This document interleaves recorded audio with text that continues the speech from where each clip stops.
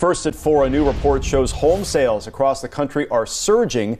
It's the fastest pace in six months. The National Association of Realtors says existing home sales jumped 14.5% from January to February. Homebuyers took advantage of a slight drop in mortgage rates and prices.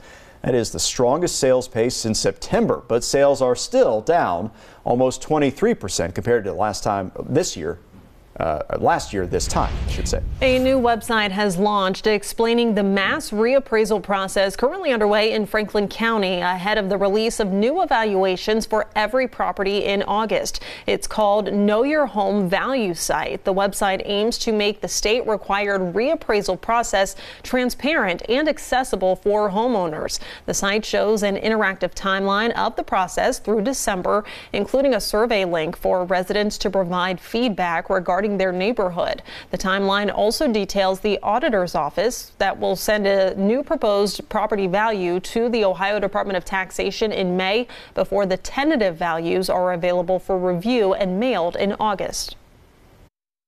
If you are happy with that value, you don't have to do anything.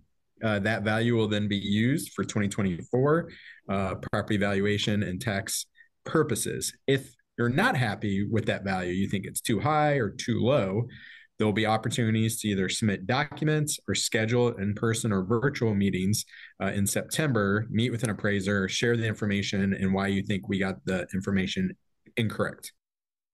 The deadline to complete that survey is March 31st. And for more information on how to track those property tax changes, we have a full story on our website. Just head to NBC4i.com.